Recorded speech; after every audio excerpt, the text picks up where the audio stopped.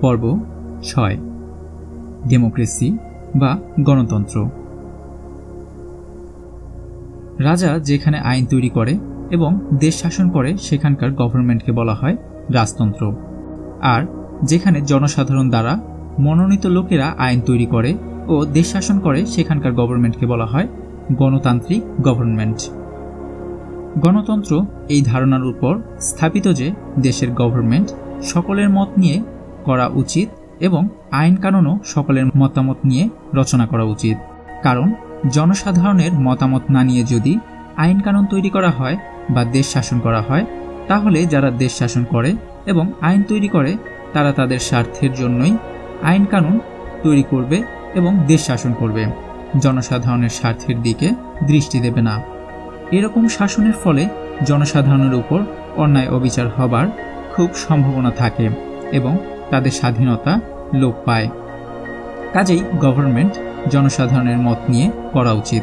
এরূপ গভর্নমেন্টের কাঠামোকে বলে ডেমোক্রেসি বা প্রজাতন্ত্র বা গণতন্ত্র। বুর্জোয়া ডেমোক্রেসি ধনিকের গণতন্ত্র। বর্তমানে ব্রিটেন, আমেরিকা, ফ্রান্স ইত্যাদি যেসব দেশকে ডেমোক্রেটিক দেশ বলা হয়, সেগুলো আসলে বুর্জোয়া ডেমোক্রেটিক দেশ। এগুলো সব ফরাসি বিপ্লবের সময়ে ও পরে স্থাপিত হয়।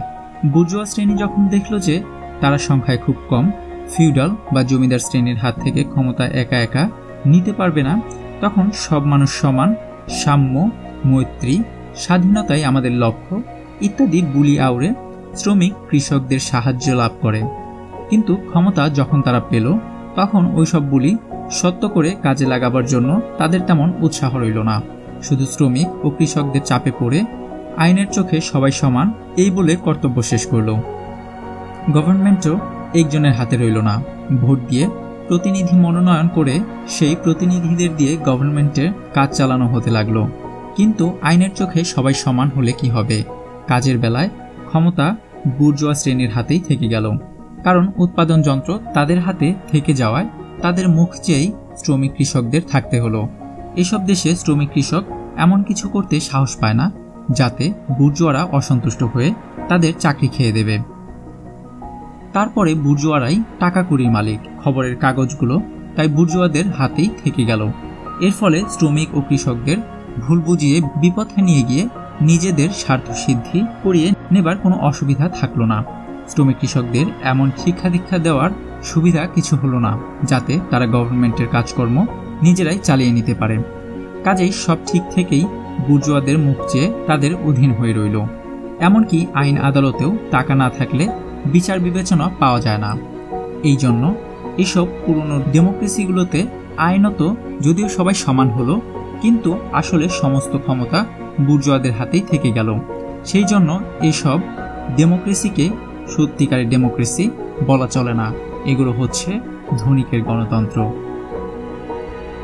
জনগণের ডেমোক্রেসি, শ্রমিক কৃষকের গণতন্ত্র। সত্যিকার ডেমোক্রেসি কাকে বলে? মার্কিন দেশেরই প্রেসিডেন্ট আব্রাহাম লিঙ্কন মোটামুটি তার একটি ভালো সংজ্ঞা দিয়েছেন। ডেমোক্রেসি হচ্ছে জনতার উদ্দেশ্যে জনতার দ্বারা পরিচালিত জনতার সরকার। এরূপ পূর্ণাঙ্গ ডেমোক্রেসি স্থাপন করতে হলে উৎপাদন যন্ত্রে সকলের সমান অধিকার দেওয়া দরকার। কারণ তা না হলে উৎপাদন যন্ত্রে যাদের বেশি অধিকার থাকে, তারা সমাজে বেশি শক্তিশালী হয়ে পড়ে। গভর্নমেন্ট তাদের হাতে চলে যায় এবং জনসাধারণের স্বাধীনতা নষ্ট হয়ে যায়। দ্বিতীয়ত, জীবনে সকলের সমান সুযোগ দেওয়া দরকার। কারণ, কোনো শ্রেণির লোক যদি অপর শ্রেণি থেকে বেশি সুযোগ পায়, তাহলে যারা বেশি সুযোগ পেল, তারা স্বভাবতই যারা কম সুযোগ পেল, তাদের উপর রাজত্ব করবে। অর্থাৎ, অর্থনৈতিক ডেমোক্রেসি না হলে পুরুপ রাজনৈতিক ডেমোক্রেসি ফাঁকা হয়ে যায়। এজন্য সমাজে শ্রেণি থাকলে ডেমোক্রেসি সফল বা সম্পূর্ণ হতে পারে না। অবশ্য তাছাড়াও ডেমোক্রেসি সফল করে তোলার জন্য সকলকে লেখাপড়া শেখার সমান সুযোগ দেওয়া দরকার। সকলেরই যাতে একটা কিছু কাজ থাকে এবং কাজ হারিয়ে কেউ বেকার না হয়ে পড়ে, তার ব্যবস্থাও করা দরকার। শুধু কাজ দিলেই যথেষ্ট হয় না। রাজনীতিতে যোগ দেবার সুযোগ ও সামর্থ্য অর্জন করবার জন্য যথেষ্ট সময় ও ছুটিও তাকে দেওয়া চাই। সেসব দেশে তিন চার বছর পর পর এক একবার ভোট দেবার মাত্র অধিকার আছে। তাও ভোট দিতে হয় এ দলের বা ও দলের কোনো প্রার্থীকে। তারপর যে প্রতিনিধির আর কোনো পাত্তা মেলে না, সেসব দেশে সাধারণ মানুষ দেশের শাসনে কোনো অধিকারই পায় না, অভিজ্ঞতাও লাভ করে না। সোশ্যালিজম কি তা যদি বুঝে থাকো, তবে দেখতে পাবে সোশ্যালিজম সব মানুষের জীবনে সমান সুযোগ ও অধিকার সম্ভব করে তোলে। কাজেই সোশ্যালিজমের মধ্য দিয়ে তথাকথিত ডেমোক্রেসি বা পূর্ণ ডেমোক্রেসিতে পরিণত হতে পারে। তা না হলে শুধু মুখে বলে দিলাম, সব মানুষ সমান, কিন্তু কাজের বেলায় যে ছোট তাকে ছোট করে যদি রাখি, তাহলে ডেমোক্রেসি হয় না, ঠিক তার উল্টো হয়। এরকম অবস্থায় জনসাধারণের হাজার সুযোগ সুবিধা, আইনে লেখা থাকলেও সেগুলো কখনো কাজে প্রয়োগ হয় না। উৎপাদন যন্ত্রে ব্যক্তিগত অধিকার থাকলেই সমাজের শ্রেণি থাকবে এবং সমাজের শ্রেণি থাকলেই শ্রেণি সংগ্রাম থাকবে। এই শ্রেণি সংগ্রাম যখন মানুষ গুরুতর আকার ধারণ করে এবং যখন শ্রমিক শ্রেণি গভর্নমেন্ট হস্তগত করবার উপক্রম করে, তখন বুর্জোয়া শ্রেণির পক্ষে আর ডেমোক্রেসির মুখোশ রাখা সম্ভব হয় না। তখন তারা ডেমোক্রেসির মুখোশ ফেলে দিয়ে খোলাখুলিভাবে শ্রমিকদের নিষ্পেষণ আরম্ভ করে, অর্থাৎ ফ্যাসিজম চালু করে। এই জন্য শ্রেণীবিভক্ত বুর্জোয়া ডেমোক্রেসি কখনো বেশি দিন স্থায়ী হতে পারে না। শ্রেণি সংগ্রামের ধাক্কায় এর পতন অনিবার্য। শ্রেণীহীন সমাজেই শুধু ডেমোক্রেসি পূর্ণ ও সফল হতে পারে। তাহলে ডেমোক্রেসি সম্পূর্ণ হতে পারে সোশ্যালিজমের আমলে। আর সোশ্যালিজম এ কথা বুঝলে এটাও আমরা বুঝি, শ্রমিকেরা দেশের সর্বপ্রধান শক্তি হলে তবেই শ্রেণি বিপ্লব ও সোশ্যালিজম স্থাপন সম্ভব হয়। কিন্তু যে দেশে কলকারখানা বেশি বৃদ্ধি পায়নি, শ্রমিকেরা সেখানে সংখ্যায় অধিক হতে পারে না। রাজনীতিতেও প্রাধান্য লাভ করতে পারে না। অথচ এমন দেশ তো পৃথিবীতে অনেক আছে, যেখানে এখনও সাম্রাজ্যবাদীরা শাসন ও শোষণ করছে।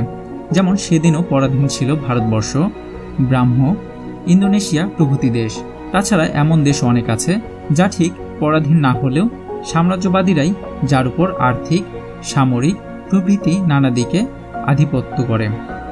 যেমন দ্বিতীয় মহাযুদ্ধের পূর্বের চীন, পূর্ব ইউরোপের হাঙ্গেরি, রুমেনিয়া, পোল্যান্ড প্রভৃতি দেশ, আর বর্তমানের আরব মিশর, থাইল্যান্ড, ইন্দোনেশিয়া, পাকিস্তান এবং দক্ষিণ আমেরিকার প্রায় সব দেশ সাম্রাজ্যবাদের অধীনে বা সাম্রাজ্যবাদের আওতায় এসব দেশ স্বদেশী ক্যাপিটাল ও স্বদেশি কলকারখানা গড়ে উঠতে পারে না। কলোনিয়াল বা সেমি কলোনিয়াল উপনিবেশিক বা আধা উপনিবেশিক ব্যবস্থা চলে, অর্থাৎ এসব সমাজে সাম্রাজ্যবাদের অধীনে ফিউডাল বা আধা ফিউডাল, রাজা, রাজরা, সামন্ত জায়গিরদার জমিদাররাই জমির মালিক থাকে। বুর্জোয়া ডেমোক্রেসিও এখানে পুরো জয়লাভ করতে পারেনি। এসব দেশের পক্ষে প্রথম ও প্রধান কাজ অবশ্য পূর্ণ স্বাধীনতা লাভ। তার অর্থ সাম্রাজ্যবাদকে বিতাড়িত করা ও সাম্রাজ্যবাদের তাবেদার জমিদার, জাগিরদারদের থেকে মালিক, জমির মালিকানা নিয়ে কৃষকদের হাতে জমি দেওয়া। আগেকার যুগে বুর্জোয়ারাই এই স্বাধীনতার যুদ্ধ করত। তারপর নিজেদের বুর্জোয়া ডেমোক্রেসি স্থাপন করে শাসন ও শোষণ চালাত। কিন্তু এ যুগে ঠিক তেমনভাবে অগ্রসর হওয়া সম্ভব না। কারণ বুর্জোয়া যুগ এখন সাম্রাজ্যবাদের স্তরে, পতনের দিকে। অন্যদিকে, পৃথিবীতে সোশ্যালিস্ট বিপ্লব ঘটেছে। শ্রমিক শক্তি এখন উত্থানের মুখে। এর ফলে এখন পশ্চাৎপদ দেশও তাই স্বাধীনতা লাভের নতুন পথ ও ডেমোক্রেসির একটা নতুন রূপ এই দ্বিতীয় মহাযুদ্ধের পর আবিষ্কার করতে পেরেছে। বুর্জোয়া নেতৃত্বে বুর্জোয়া ডেমোক্রেসি গড়ার প্রশ্নও আর ওঠে না। আর পশ্চাৎপদ দেশ একেবারে কলকারখানা না গড়েই একলাফে শ্রমিক নেতৃত্বে সোশ্যালিস্ট ডেমোক্রেসিও গড়তে পারে না। তারা শ্রমিক পার্টির নেতৃত্বে দেশের স্বাধীনতাকামী ও গণতন্ত্রকামী সকল দলকে ও মানুষকে একত্রিত করে স্বাধীনতা আয়ত্ত করে এবং তারপর সেই সম্মিলিত গণতন্ত্রীদের সরকার গঠন করে। এসব গণতন্ত্রীদের মধ্যে শ্রমিকরা তো থাকেই, কৃষকরাও থাকে। শ্রমিক, মধ্যবিত্ত, দোকানি পশারি কিংবা বুদ্ধিজীবী মাস্টার, ডাক্তার প্রভৃতিও থাকে। এমনকি স্বদেশি বুর্জোয়ারাও থাকে। সাধারণভাবে তাই, এ হচ্ছে জনগণের সংযুক্ত দল। এরূপ গণতন্ত্রী দলের নাম হয় people's front, national front, democratic যুক্ত ফ্রন্ট প্রভৃতি। কিন্তু কথা হলো, এই যে এই সব সম্মিলিত শক্তির নেতৃত্বে সর্বাপেক্ষা অগ্রগামী বলে শ্রমিক শক্তিকেই নিতে হবে। শ্রমিকের রাজনীতি হয় তার মুখ্য রাজনীতি। এরা জমিদারি, জাগিরদারি বাতিল করে কৃষকের হাতে জমি দেয়। তাকে কৃষির উন্নতি করতে সাহায্য করে আর রাষ্ট্র এক নতুন কলকারখানা গড়তে থাকে। স্বদেশি শিল্পপতি বা স্বদেশি বুর্জোয়ার সাহায্যেও কলকারখানা বাড়িয়ে তোলে। তাতে দেশে ফিউডালিজম চুকে যায়, শিল্প সমৃদ্ধি বাড়ে, শ্রমিক প্রাধান্য বৃদ্ধি পায়। ফলে সোশ্যালিজমের দিকে দেশ তাড়াতাড়ি এগিয়ে যেতে পারে। ঠিক এরূপ ডেমোক্রেসি স্থাপিত হয়েছিল চীনে। উনিশশো ঊনপঞ্চাশ এর একলা অক্টোবর থেকে। এইরূপ ডেমোক্রেসি স্থাপিত হয়েছিল দ্বিতীয় মহাযুদ্ধের পরে পূর্ব ইউরোপের দেশগুলোতে। পোল্যান্ড, চেকোস্লোভাকিয়ায়, রোমানিয়ায়, হাঙ্গেরিতে, বুলগেরিয়ায়, আলবেনিয়ায়, এমনকি জার্মানিতেও। এসব রাষ্ট্রের মধ্যে অবশ্যই একটু স্তরভেদ ছিল। যারা যত কলকারখানায় অগ্রসর ছিল, তারা তত সোশ্যালিজমের দিকে দ্রুত অগ্রসর হয়ে যাচ্ছিল। আর যারা পেছনে ছিল তারা দ্রুত অগ্রসর হচ্ছিল। দুঃখের বিষয় নানা রকম ভুলভ্রান্তির ফলে উনিশশো নব্বই নাগাদ পূর্ব ইউরোপের এই গণতান্ত্রিক সরকারগুলোর পতন হয় এবং পুঁজিবাদীরা আবার দেশে তাদের রাজত্ব পুনঃপ্রতিষ্ঠা করতে পারে। পূর্ব ইউরোপের ও সেভিয়েতের সমাজতান্ত্রিক রাষ্ট্রের কীভাবে পতন হলো তা আমরা পরে আলোচনা করব। ইম্পেরিয়ালিজম বা ক্যাপিটালিজমের মধ্য থেকেই বেরিয়ে আসা অনিবার্য ফল, এ তোমরা আগেই বুঝতে পেরেছ। আর ইম্পেরিয়ালিজম বা ফ্যাসিজম দুটো আলাদা জিনিস নয়, ক্যাপিটালিজমেরই দুরকম রূপ। ক্যাপিটালিজম যেসব সমস্যার সৃষ্টি করে বুর্জোয়া শ্রেণি সেসব সমস্যার সমাধান করার জন্য ইম্পেরিয়ালিজম ও ফ্যাসিজমের আশ্রয় নেয়।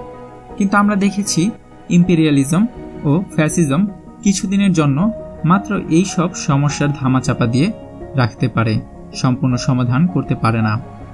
এর সমাধান হয় সোশ্যালিজমের ভেতর দিয়ে।